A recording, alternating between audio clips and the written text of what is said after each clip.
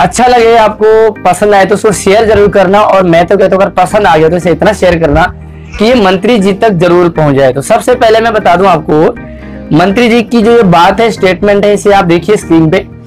क्या लिखते हैं मंत्री जी? कि आ, जिसको नौकरी नहीं मिलती वो बीएड कर लेता है। ये हमारे निशंक जी हैं जिनके पास की देश का सबसे बड़ा पद है। एचआरडी मिनिस्टर हैं ये। इनका स्टेटमेंट है। यार मैं इनकी बहुत रिस्पेक्ट करता रहा, इसलिए नहीं कि ये मंत्री है, इसलिए कि पढ़े लिखे हैं। अब बताओ, पढ़ा लिखा इंसान ऐसी बातें करे, आप बताओ कि जिसके पास कोई नौकरी नहीं है, वो बीएड कर लेता है। इसका मतलब कि बीएड करना इतना आसान हो गया है कि हर कोई बीएड कर रहा है। पर मैंने तो बहुत स्ट्रगल किया है बीएड करने के लिए। आपने भी स्ट्रगल किया होगा, लेकिन मंत्री जी जो इसको इतने हल्के में ले रहे हैं कि बीएड करना इतना आसान है साथ में ये कहते हैं कि हर साल जो है लाखों लोग इनका कहना स्टेटमेंट कि 19 लाख छात्र बीएड कर रहे हैं। 19 लाख। तो इनका मतलब है कि सिर्फ़ बेरोजगारों की जो एक फौज तैयार हो रही है। इसका मतलब आप और हमें ये बेरोजगारों की फौज कह रहे हैं। समझ नहीं आता कि आपको और हमें बेरोजगार बनाने का सबसे बड़ा आ, सबसे बड़ी ज़िम्मेदारी इन्हीं लोगों की है। और यही लोग हमें जो है इस तरह से कमेंट करते हैं। बहुत ही दिल को ठेस पहुँचती है। साथ में ये कह रहे हैं कि भैया गुणवत्ता नहीं है क्वालिटी नहीं है। टीचर के लिए हम ऐसा मापदंड अपनाएँगे कि लिखा हुआ इन्होंने कि आई ए एस से कठिन होगा, कठिन हो जाएगा टीचर बनना।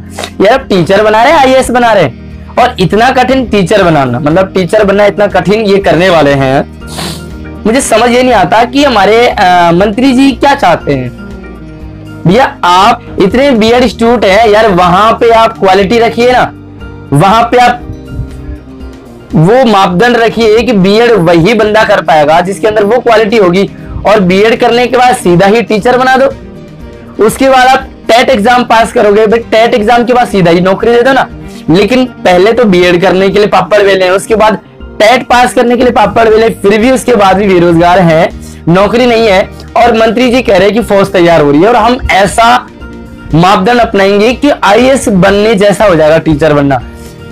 भाई मंत्री जी, आप जो है ना, फल के ऊपर पानी डालने की कोशिश कर रहे हो, टहनी के ऊपर पानी डालने की कोशिश कर रहे हो, जो कि गलत है और निराधार है।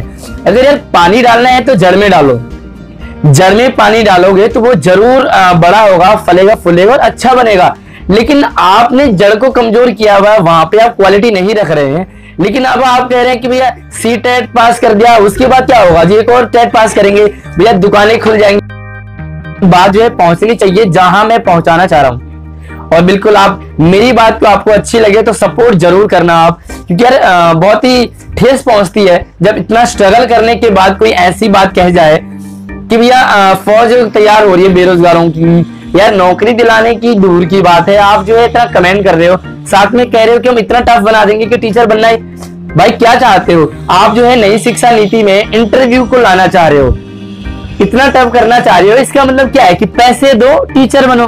टफ का मतलब क्या है कि गरीब लोग गरीब का गरीब रह जाएगा और जिसके पास पैसे हैं, अमीर है, वो बीएड भी कर लेगा आराम से या टेट भी पास कर लेगा तो तुम्हारा टीचर भी बन जाएगा। कहाँ क्वालिटी है? मुझे समझ ये नहीं आता कि आप क्वालिटी कहाँ चाह रहे हैं। आप कह रहे हैं नई शिक्षा नीति की भी बात कर रहा हूँ मैं, कि नई शिक्षा नीति में इंटरव्यू को उन्होंने जोड़ा है। भाई मैंने तो डटकर जमकर इसका विरोध किया।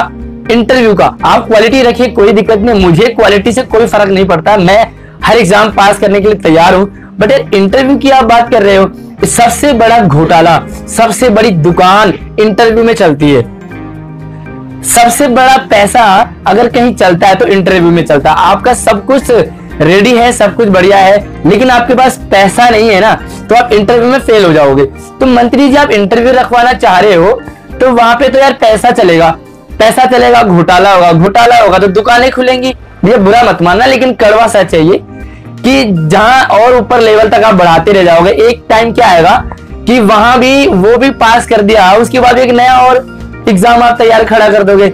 सबसे पहले तो बीएड करना बड़ा कठिन था।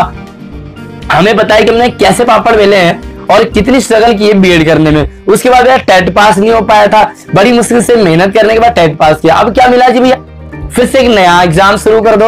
अब वहाँ पे क्या है कि इतने पैसे तो आप बेरोजगारी से ऐठ रहे हो। पहले तो बीएड में, उसके बाद टेट में। इतनी बार फॉर्म भरो फॉर्म भरो फॉर्म भरो। हर छह छह महीने बाद आपके फॉर्म निकल रहे होते हैं और लाखों, हज़ारों, करोड़ों कैंडिडेट फॉर्म भरते हैं। तो यार आपकी तो जेब गर्म हो रही है ना। साथ में भी एक और टेस्ट पास टेस्ट की बात कर रहे हो आप। वहाँ पे भी आपकी ही जेब गर्म होगी। तो बेरोजगार तो बेरोजगार का, बेरोजगार ही रह जाएगा। लेकिन हाँ जिसके पास मोटी रकम होगी, जिसके पास पैसा होगा, वो सेट हो जाएगा।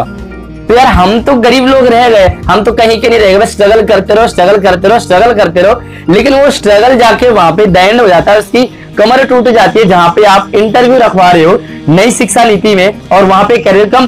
कुछ ऐसे टीचर बनाना चाह रहे हो। भाई टीचर बना रहे हो आई बना रहे हो? आई ना कर ले बंदा। अगर आपके टीचर का एग्ज़ाम देना हो बंदे ने तो आई ना पास कर ले। तो आपसे रिक्वेस्ट है भाइयों कि वीडियो को शेयर ज़रूर करें। कमेंट ज़रूर करें आपको क्या सुझाव क्या आपको अच्छा लगा, क्या आप इसमें और ऐड करवाना चाह रहे हो मेरी बात में, और मैं तो ये कहता हूँ कि मंत्री जी तक अगर बात पहुँचे तो मंत्री जी बीएड को स्ट्रॉन्ग बनाइए अब जड़ मज़बूत कीजिए। और जब जड़ मज़बूत होगी ना तो यार टहनी को मज़बूत करने की ज़रूरत नहीं है, और ना ही आपको जो है फल में पानी डालने की ज़रूरत है। यार, बेतु की बात कर रहे हो आप। फल में आप पानी डाल रहे हो तो फल में पानी डालने से कुछ नहीं होने वाला। वो फल पकेगा कब? जब जड़ में पानी डालोगे।